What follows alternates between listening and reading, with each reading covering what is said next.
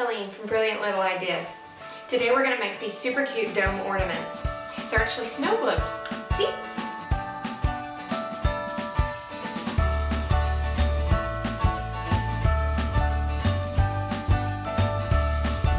Go to brilliantlittleideas.com for a complete list of what you'll need to make these cute snow globe ornaments. First, you'll need to gather your items and decide what each snow globe will look like. Choose some really cute paper and then trace around each dome. Cut the circles out and glue them to your round discs.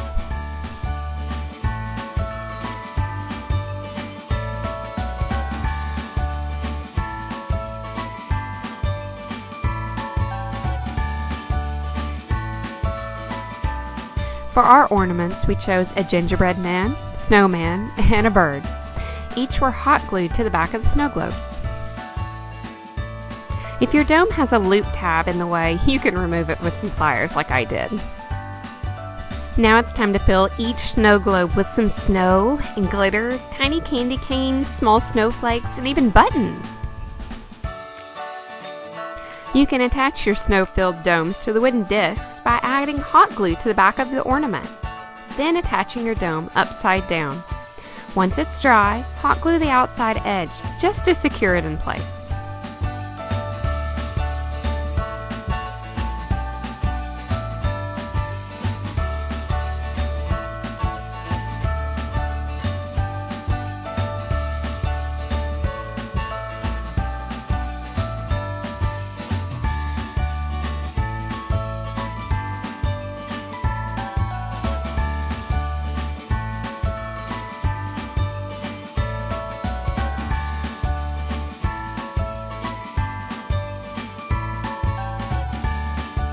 We chose for our two smaller snow globe ornaments to look like snow globes.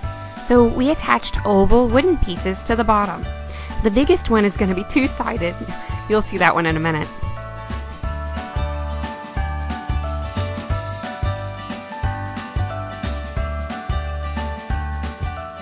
Paint the edges of each snow globe, even painting over some of the dried hot glue like I did.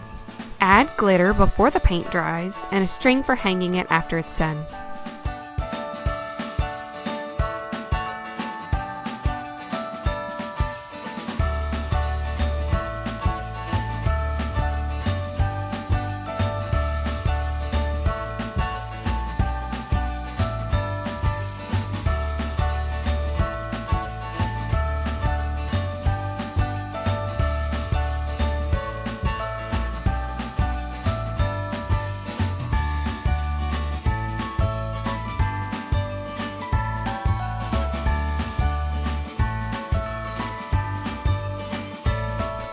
Once the front is completely dry, go ahead and flip it over to the back and you're going to choose a color and paint it a solid coat of paint. This is going to give it a really nice clean finished look. For the flip side of our large snow globe ornament, we chose to use a fun festive reindeer and Christmas tree.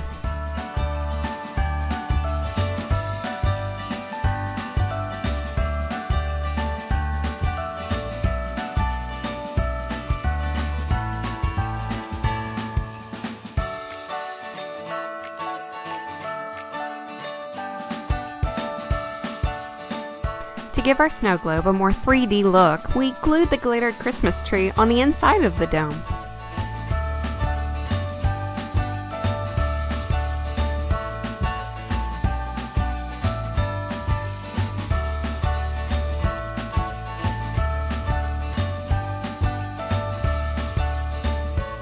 And that's it. Now go have some crafting fun with your kids and then go decorate your Christmas tree together.